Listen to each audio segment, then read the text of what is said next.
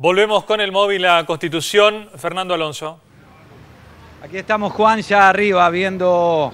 Bueno, por suerte no tenemos que dar un título catástrofe de las largas colas, por suerte, a pesar del, del inconveniente que es el paro.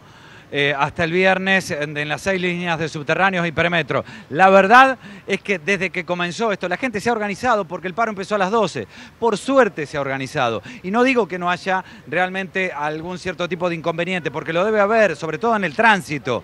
Pero el tema es que vienen bastante cargados los colectivos porque van a tomar el eh, ferrocarril de la línea Roca. Pero se han organizado de tal manera donde las largas colas por el paro de subterráneo, la verdad no se ha visto desde que llegamos acá durante la tarde. Y esto es bueno. Puede haber alguna complicación importante mañana a la mañana, porque mañana a la mañana por esta línea roca viene muchísima gente y va a tener que trasladarse al interior de la ciudad de Buenos Aires, que es la función que cumple el subterráneo. Fíjense ustedes, viene mucha gente a tomar el tren, pero no hay grandes colas para irse.